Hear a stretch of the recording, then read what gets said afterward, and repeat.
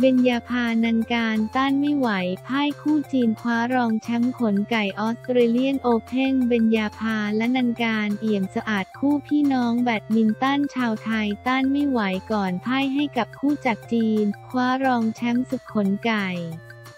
ออสเตรเลียนโอเพ่น2022 ศึกแบดมินตันเวิลด์ทัวร์ซูเปอร์ 300 รายการ SATHIO Group ออสเตรเลียนโอเพ่น2022 ชิงเงินรางวัลรวม 180,000 เหรียญสหรัฐ หรือราว 6,445,800 บาทที่สนามทีเซนเตอร์เมืองซิดนีย์ ประเทศออสเตรเลียเมื่อวันที่ 20 พฤศจิกายนที่ผ่านมา การแข่งขันในรอบชิงชนะเลิศของประเภทหญิงคู่ พี่น้องเอี่ยมสะอาดมุนาเบญญาภาและอนนานันการจากไทยคู่มือ 14 ของโลก ดวลกับจางซูเซียนและเจิ้งอยู่คู่มือ10โลกจากจีนปรากฏว่ามูนาและอันนาต้านทานความแข็งแกร่งไม่ไหวก่อนพ่ายคู่จากจีนไป2เกมรวด สกอร์ 19 ถึง 21 และ 13 ถึง 21 คว้ารองแชมป์ในการแข่งขันไปครอง ขอบคุณภาพจาก แบดมินตันโฟโต้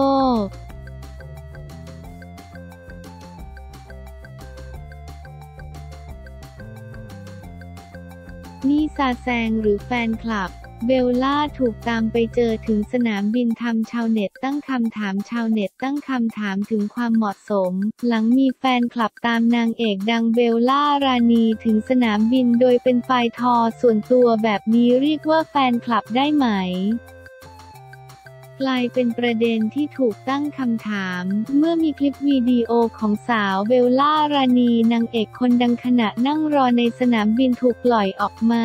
ในลุคที่มองเผินๆก็แทบจำไม่ได้ เพราะสาวเบลล่าแต่งกายในชุดเสื้อยืด กางเกงขายาวสีดำธรรมดาธรรมดาพร้อมใส่หมวกและหน้ากากอนามัยปิดบังใบหน้า แต่สิ่งที่เป็นประเด็นคือบทสนทนาระหว่างนางเอกสาวและผู้ที่เป็นแฟนคลับ ซึ่งเป็นคนปล่อยคลิปนี้ลงสู่โซเชียลด้วยตนเอง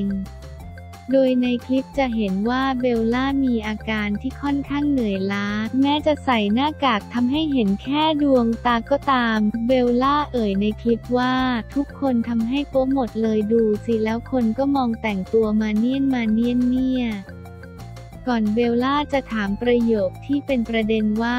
นี่คุณรู้ flight กันหมดเลยหรอรู้ด้วยตัวเอง หรือพี่พลอยบอกแฟนคลับที่ตามไปจึงตอบติดตลกว่านั่งสมาธิเอา จากนั้นเบลล่าจึงพูดต่อว่าก่อนนั่งสมาธิต้องรักษาศีลห้าก่อน ห้ามโกหก ภายในคลิปต้นฉบับมีคนเข้ามาแสดงความคิดเห็นมากมาย บางคนเรียกแฟนคลับกลุ่มนี้ว่าซาแสงแฟน ซาแสงพอง มาจากคำว่าภาษาเกาหลีคือซาแสงวาน ซาแสงวาว ที่แปลว่าชีวิตส่วนตัวบวกแฟน ปาเอ็น ที่แปลว่าแฟนคลับ มีพฤติกรรมตามติดชีวิตส่วนตัวของศิลปินตลอด 24 ชั่วโมงอยากใกล้ชิดจนลุกล้ำความเป็นส่วนตัว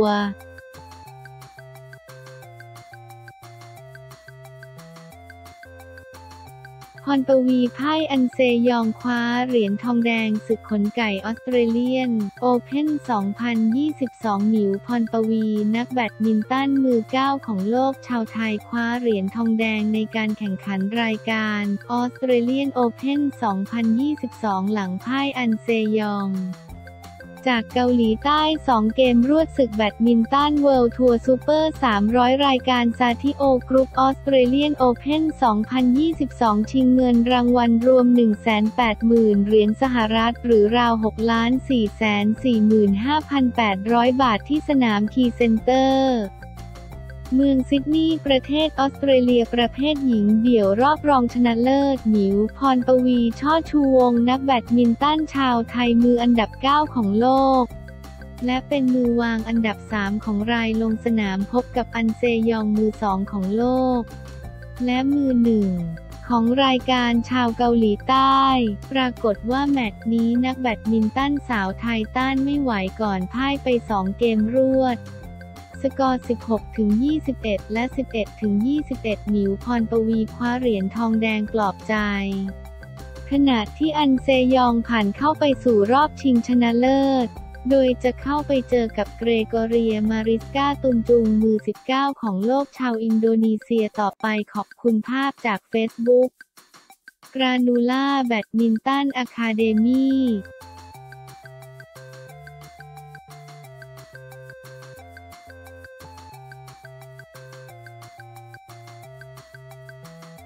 ลาล่าเปิดใจเสียงสั่นโปงลางสะออน comeback ในรอบ 9 ปีลุ้นกลับมารวมวงถาวรลาล่าอาร์สยามเปิดใจเสียงสั่นโปงลางสะออน comeback เครียดหนักโชว์แรก พร้อมหน้าในรอบ 9 ปีลุ้นกลับมารวมวงถาวรหลังจากที่ลาล่า วัญนภาเรืองศรีหรือลาล่าอาร์สยามออกมาโพสต์ข้อความผ่าน IG ส่วนตัวว่า ถูกหวยเป็นแสนเป็นล้านก็ไม่คุ้มค่าเท่ากับ 9 ปีที่เราคอยในที่สุดวันนี้ก็มาถึงกรีดแดดเมื่อพี่ชายคนหนึ่งโทรมาแล้วบอกว่าเครื่องหมายสี่เหลี่ยมเรานัดวันซ้อมกันนะวางโทรศัพท์เสร็จน้ำตากรูไหลพรากคัมแบ็กซูน 26 นอทำเอาแฟนๆ ดีใจยกใหญ่ที่โปงลางสะออนวงดนตรีพื้นบ้านอีสานชื่อดังในอดีตจะกลับมารวมกันอีกครั้ง ล่าสุดข่าวสดบันเทิงออนไลน์ไม่รอช้าต่อสายตรงไปหาสาวลาล่า เพื่อสอบถามถึงข่าวดีนี้ว่ารายละเอียดเป็นอย่างไร รวมถึงโปงลางสะออนจะ comeback วงถาวรเลยหรือไม่ โดยเจ้าตัวบอกว่าถ้าพูดแล้วจะเซอร์ไพรส์ไหมอะยิ้มตามที่โพสต์เลยว่ายิ่งกว่าถูกหวยยิ่งกว่ารวยเบอร์ตอนนี้มูลค่าของเงินเท่าไหร่ก็เทียบเท่ากับความรู้สึกของการกลับมาครั้งนี้ไม่ได้เหมือนเป็นของขวัญรับปีใหม่ให้กับเรา ทุกอย่างก็ตามที่ทุกคนคาดเดาไว้เลย เราก็จุกๆเหมือนกัน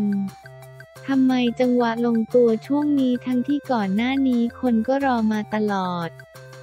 ตั้งแต่ช่วงโควิดมางานมันอันหลายอย่าง เลยเป็นจังหวะที่ถึงเวลารวมตัวของเราแล้วพอดี ตอนนี้คนถามหาเยอะแล้วมันเหมือนนวลลูกเพลงเก่ามาใหม่อีกรอบอาจเป็นเพราะ TikTok ด้วยที่ทำให้ได้เห็นภาพพวกเราบ่อยขึ้น แล้วทางจังหวะของลูกค้า request มาทางบริษัทว่าสามารถจัดโปงลางสะออนมารวมกันได้ไหม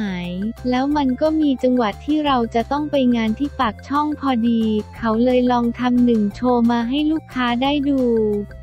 อันนี้เป็นการกลับมาโชว์ร่วมกัน หรือว่าจะกลับมารวมตัวกันถาวรเลย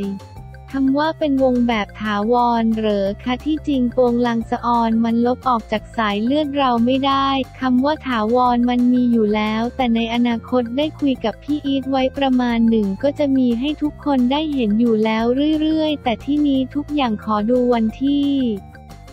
วันที่ 26 พฤศจิกายนที่เราจะต้องขึ้นโชว์กันก่อนว่าปริมาณงบการเดินทางหรืออะไรหลาย ๆ อย่างมันต้องฟอร์มกันใหม่เยอะขอให้เกิดงานวันที่ 26 พฤศจิกายนก่อนแล้วให้แฟน ๆ เป็นคนตัดสินเอาแล้วกันค่ะก้าวปีที่แฟนเพลงจะได้เห็นการกลับมาของโปงลางสะออน ใช่ค่ะอันนี้เราก็กดดันเหมือนกัน เพราะตัวเราก็ห่างพี่อีทมานาน แล้วพี่อีทเองก็เล่นแบบไม่มีเรามานาน ก่อนหน้านี้ที่เราอยู่กับพี่อีทเราเป็นยังเบบีที่พี่อีทคอยป้อนมุกให้ อเราออกมาอยู่ข้างนอกเราก็มีมุกในส่วนของเรา ฉะนั้นเวลาเล่นมันต้องเกิดการแชร์กัน ตรงนี้ก็คิดว่ามันน่าจะวุ่นวายหลายอย่าง และน่าจะใช้เวลานานในการซ้อมมากๆ เครียดอยู่นะแสดงว่าเครียด อันนี้คือสิ่งที่เครียดต้องขอคุยกับพี่อีทก่อน เพราะว่าเบื้องต้นคุยกันก็ยังนัดกันแบบงงๆว่าแบบไหนดี ตอนนี้เรายังไม่เห็นภาพอะไรเลย เพราะมันแยกกันนานมากจริงๆ แล้ววันที่ 26 พฤศจิกายนนี้เป็นฟรีคอนเสิร์ตเราอยากให้คนไปให้กำลังใจเราเยอะๆ เพราะเราก็อยากรู้ว่าแฟนๆ ยังต้องการเราในรูปแบบไหนหลายคนคิดถึงท่าปลาโลมา ที่จริงท่าปลาโลมาทุกคนเต้นได้อยู่แล้ว เอาจริงปะตอนนี้กลายเป็นเราคาดหวังกับท่านผู้ชมมากกว่าว่าบุคคลที่จะมาเต้นท่าปลาโลมากับเราตอนนี้โตขนาดไหนแล้ว ยุคนั้นยังเป็นเด็กที่แม่อุ้มมาดู แล้วตอนนี้ล่ะเขาต้องโตแล้วใช่ไหม แล้วเขาจะกล้าเต้นกับเราอีกหรือเปล่าตื่นเต้นแค่ไหน ที่สุดตอนนี้คือมันตื้อไปหมดคิดไม่ออกว่าจะเอาอะไรไปแชร์ให้พี่อีทดี มันงงไปหมดเลยตอนนั้น เราเล่นอะไรไว้บ้างกลาย เป็นต้องไปนั่งย้อนดูคลิปเก่าๆว่าจะไปต่อยังไง ถ้าเราต้องกลับไปเล่นของเก่าเอาแบบนั้นแฟนแฟนก็จำได้หมดแล้วสิแล้วของใหม่คืออะไรที่เราจะเอาไปรวมกับพี่อีทวันจริงที่ขึ้นเวทีกันพร้อมหน้าอีกครั้ง น้ำตาจะแตกไหม ยังคิดอยู่เลยค่ะแค่ตอนขับรถแล้วฟังเพลงก็แบบทำไมเรารู้สึกอย่างนี้ มันสุดยอดแล้วในชีวิตคิดไปคิดมานั่งร้องไห้คนเดียวขับรถไปก็ร้องไห้ไปทั้งกดดันทั้งเครียดอยากทำให้ดีที่สุดนี่สิ่งที่เราได้ยินจากพี่อีทว่า อีหลานัดมาซ้อมกันว่างเมื่อใด คำนี้เป็นคำที่เรารอคอยมานานมากถึงมากที่สุด เราอยากได้ยินเสียงนี้ออกจากปากพี่อีทมานานมาก เราพยายามกดดันและใช้วิธีให้คนอื่นไปกดดันพี่อีทแต่เขาก็ยังไม่พูดจนวันนั้นเขาพูดกับเราก็แบบสุดแล้วอะที่ผ่านมาลาล่าลูลูพร้อมตลอดติดที่พี่อีทคนเดียวใช่ไหม ใช่ค่ะอยากจะบอกเลยว่าติดพี่อีทหัวเราะ ติดที่เขาเพราะว่าเราต้องใช้วงของโปงลางจริง ๆ ใช้นักดนตรีจริง ๆ เราไม่อยากใช้คนอื่นเล่นเพราะมันจะรู้ใจกันมากกว่า ฉะนั้นต่อให้เราพร้อมแต่พี่อีทไม่พร้อมมันก็เล่นไม่ได้ 9 ปีนานเกินไปไหม ไม่ค่ะต่อให้รอนานแค่ไหนก็รอได้ถ้าเกิดมันเป็นเวลาที่ดีและพร้อมของมัน ถ้าเร็วกว่านี้ก็อาจจะไม่ได้ เพราะจะต้องติดโควิด หรือถ้าช้าไปกว่านี้รุ่นเด็กที่โตเป็นรุ่นเราก็อาจจะแก่งอมไปอีก คือมันเป็นจังหวะที่ใช่ มันเป็น 9 ปีที่ทุกอย่างจัดสรรให้เราหมดเลย เรียกว่าเป็นการรียูเนียนได้ใช่ไหม น่าจะได้แค่ยังไงก็ต้องขอบคุณทุกคนนะคะที่โพสต์ไปแล้วไม่ระบุว่าปงลาง จะกลับมาเพราะแค่อยากจะลองใจทุกคนว่าจะรู้ไหมว่าสิ่งเราโพสต์หมายถึงอะไร เลยตั้งใจไม่แท็กหาพี่อีทและลูลูด้วย พียงเพราะว่าเราอยากให้ทุกคนเข้าความหมายของการโพสต์ของเรา แล้วคำตอบนั้นทุกคนตอบมาคำเดียวว่า รอหน้าเวทีใจจดจ่อแล้วปงลางสะออนปงลางสะออนพูดแล้วจะร้องไห้ เสียงสั่นที่สุดแล้วค่ากราบหัวใจทุกคน ขอบคุณที่ยังจำและเก็บความรู้สึกเหล่านั้นไว้ ไม่ว่าเราจะเดินไปไหนคำแรกที่เราจะได้ยินคือตอนเด็กผมเคยดูพี่ ตอนเด็กหนูเคยดูพี่พอได้ยินคำนี้มันชื่นหัวใจค่ะ